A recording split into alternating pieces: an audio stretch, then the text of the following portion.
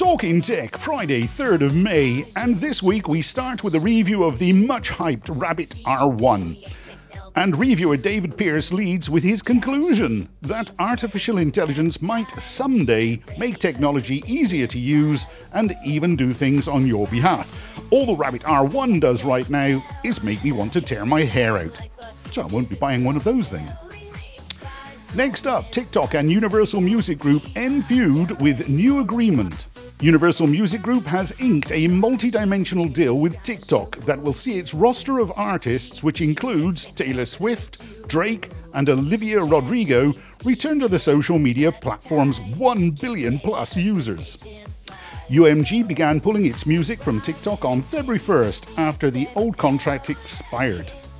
Notably, the deal will address concerns that UMG and its artists have with generative AI. TikTok and UMG will work together to ensure AI development across the music industry will protect human artistry and the economics that flow to those artists and songwriters, reads a press release announcing the deal. TikTok is also committed to working with UMG to remove unauthorized AI generated music from the platform as well as tools to improve artist and songwriter attribution. WhatsApp's new feature lets you plan your next event. WhatsApp is adding a new way to plan and organize events in group messages, making it easier for friends and organizations like schools and neighborhoods to set up virtual and in person meetings. Google is building a fart button into Android.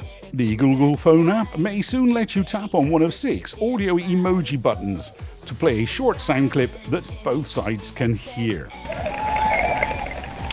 If your iPhone alarm has gone quiet, Apple says not to be alarmed. See what I did there? Because they're working on a fix for you. And finally, Arc Browser arrives on Windows to take on Chrome and Edge. The excellent Arc browser that's been impressing Mac OS and iOS users over the past couple of years is finally making its way to Windows. Arc on Windows also represents an important milestone in getting Apple's Swift apps running on the Microsoft OS.